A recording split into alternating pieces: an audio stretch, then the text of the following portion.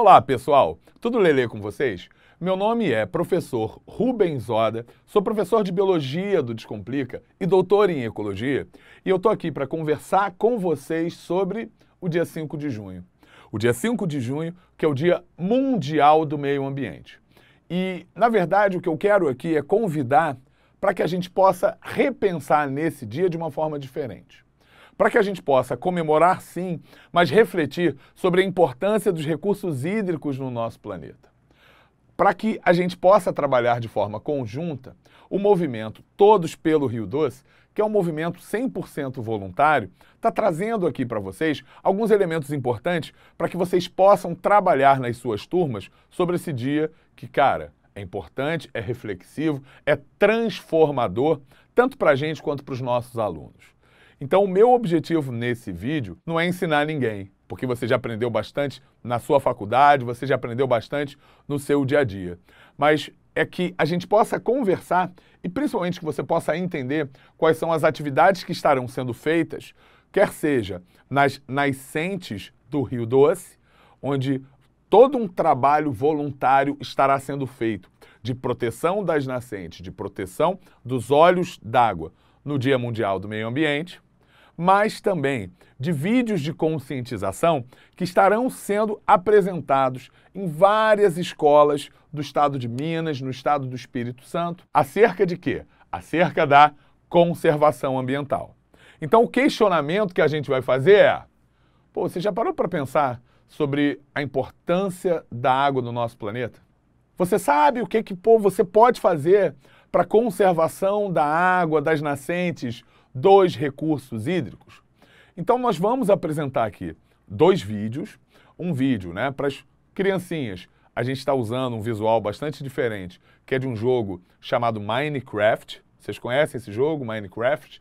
Em que eu e um professor de geografia, a gente está fazendo algumas modificações no rio e estamos colhendo aí as consequências dessas modificações, poluição, desmatamento, para que a gente possa conscientizar sobre como que essas alterações elas vão impactar, sim, na qualidade de vida da população e na biodiversidade do local.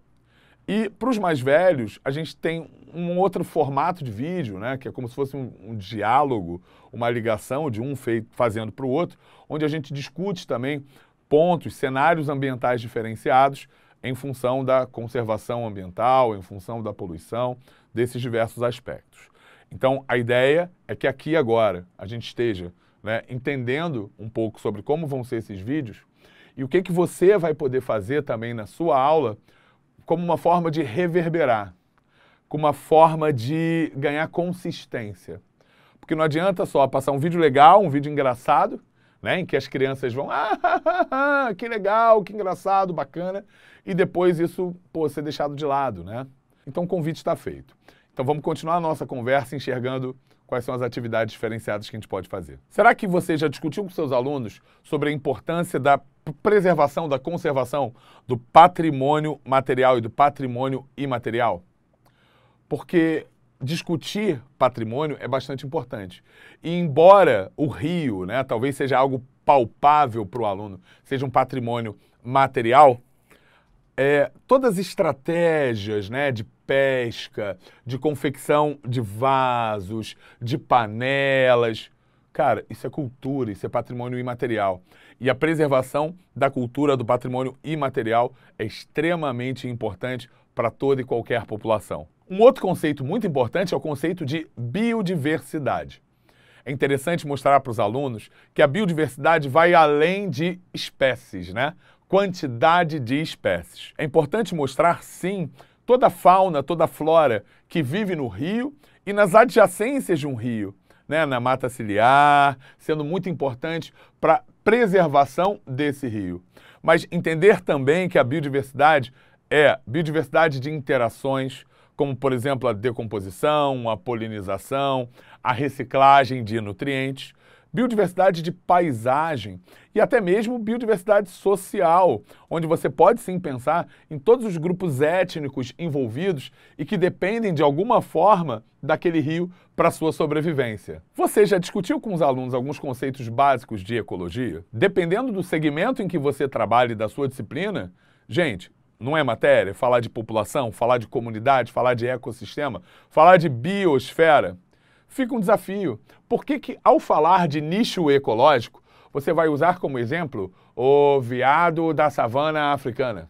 Cara, busca compreender mais a fauna, flora do local onde você vive. Monta com as crianças cadeias alimentares com as espécies locais e mostra a importância dessa fauna e da flora né, no dia a dia, no cotidiano, né, nos diversos processos ali, tanto de aprendizado quanto nos serviços ecológicos prestados por aquele ecossistema para essa comunidade, para essa sociedade como um todo. Um dos pontos mais importantes também a ser discutido é o ciclo hidrológico, é o ciclo da água. Será que não é legal montar com os alunos, né, todas as transformações que a água passa para mostrar que a água ela está presente nos lugares mais diferentes do nosso planeta e inimagináveis. Olha só como isso é transdisciplinar. Isso envolve, sim, física, mas isso envolve biologia, isso envolve geografia. E quais são as formas que a gente pode né, de alterar cada uma dessas etapas? Chuva ácida, eutrofização da água, a magnificação trófica. Então, entender os elementos do ciclo hidrológico e as várias formas de poluição desse ciclo, cara, também é um, né, uma mão na roda. Você vai ter ali todos os instrumentos depois desses vídeos para discutir isso com os seus alunos. Em relação aos animais, isso pode ser também uma forma interessante de discutir com os seus alunos as várias formas de alimentação que esses animais têm. Por que, que às vezes, uma dada espécie de peixe, ela tem um maior teor de poluentes do que uma outra espécie de peixe. Falar sobre os hábitos alimentares, predadores, filtradores. Falar que predadores de topo podem acumular mais poluentes via magnificação trófica. Ajudar na diferenciação da magnificação trófica e a eutrofização. Discutir sobre bioindicadores de poluição. Olha como é importante e tentar descobrir, quem sabe em laboratório, bioindicadores ideais para um rio que passe próximo aí da sua escola. É lógico que falar sobre bioindicação é importante, mas também é muito importante falar sobre o manejo. O que será que a gente pode fazer para tentar recuperar um rio? O que será que a gente pode fazer para mudar as condições aqui onde a gente mora? Será que existe alguma espécie que possa auxiliar na remoção de um dado poluente? Na recuperação de um dado rio, olha que interessante. Olha que interessante. Introduzir para os seus alunos o conceito de biorremediação, que a gente pode tentar utilizar espécies, seres vivos, para remediar impactos ambientais. E aí, para fechar né, com ideias né, que podem ser exploradas aí com os seus alunos, a gente tem né, o conceito de bacia hidrográfica, né, que isso aí faz muito sentido em geografia, né, lá nas ciências humanas, mas é lógico que isso pode envolver, sim, outras áreas de conhecimento, né, o conceito de bacia hidrográfica, tentar mapear aí quais são os rios da sua região, né, quais são os principais afluentes, os principais efluentes, os impactos que esses afluentes e efluentes eles estão sujeitos, então o conceito de bacia hidrográfica é importante, mas principalmente, né, gente, o convite à reflexão. Porque da mesma forma que eu estou convidando você a pensar sobre como modificar, né, após esse vídeo, como dar continuidade ao trabalho e fazer algo que seja de aprendizado significativo para os seus alunos,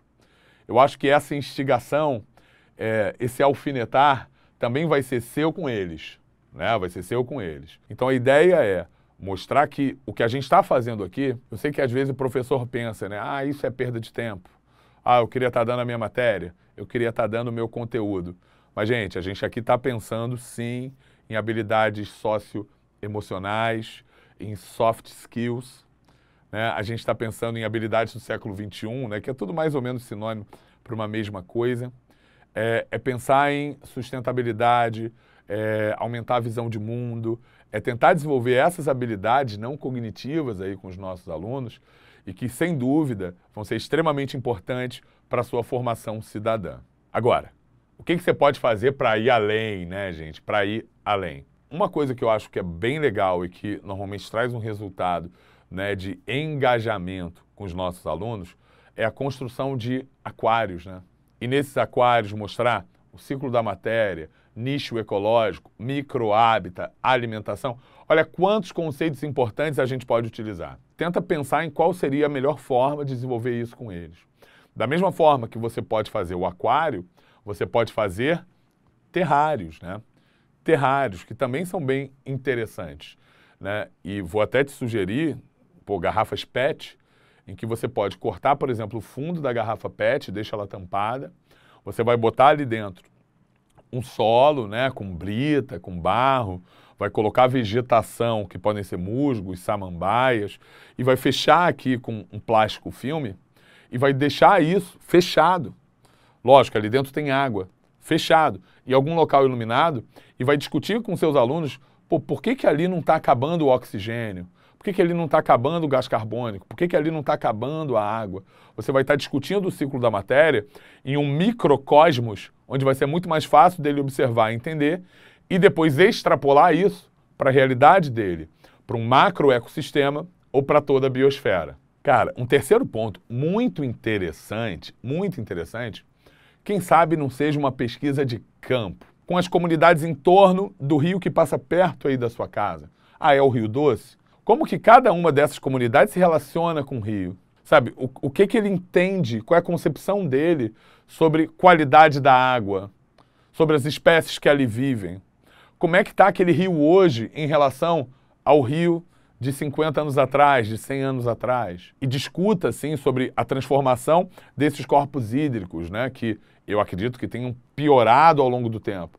E tudo que tem que ser feito hoje para uma melhora dessa qualidade repara, está envolvendo o quê? Matemática, está envolvendo ciências da natureza, está envolvendo ciências humanas. Um quarto tópico bem legal seria usar isso como um gatilho para você desenvolver projetos sustentáveis na sua escola. Cria um grupo, sabe? Defensores do meio ambiente, defensores do Rio Doce.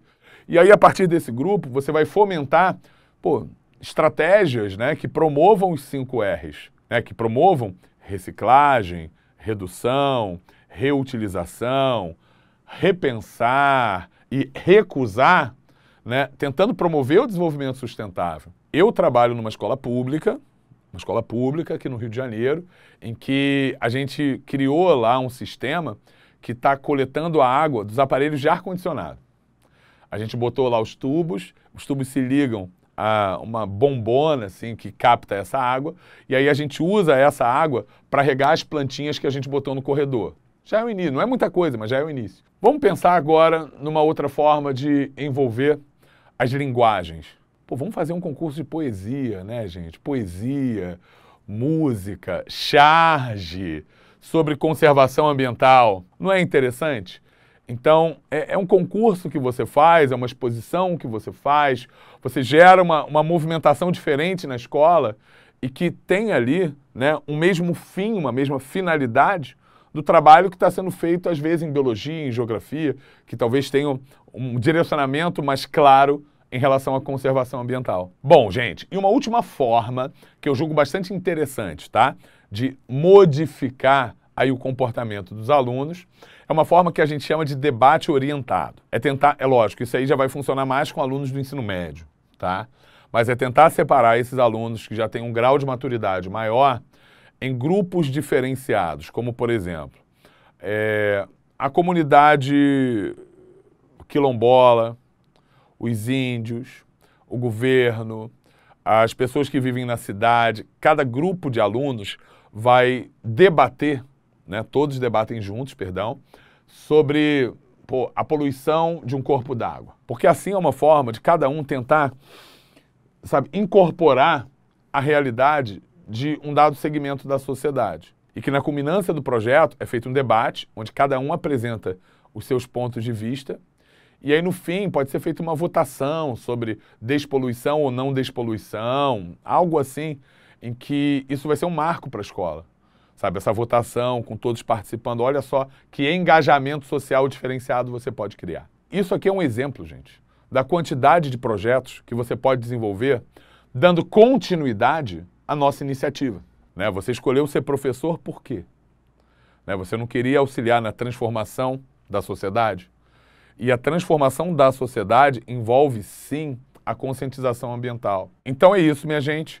É, fica aqui o convite Espero que todos continuem trabalhando bastante nesse sentido. E eu peço que todos que façam trabalhos diferenciados, sabe, que tirem fotos, que postem aí nas suas redes sociais e que, ó, marque com a nossa hashtag Todos pelo Rio Doce. Então, ó, todos pelo Rio Doce, vamos trabalhar juntos para que a gente possa, de fato, ajudar na transformação e na conservação dos recursos hídricos da nossa cidade, do nosso estado, do nosso país, do mundo inteiro. Um grande abraço para todos. Tchau, tchau.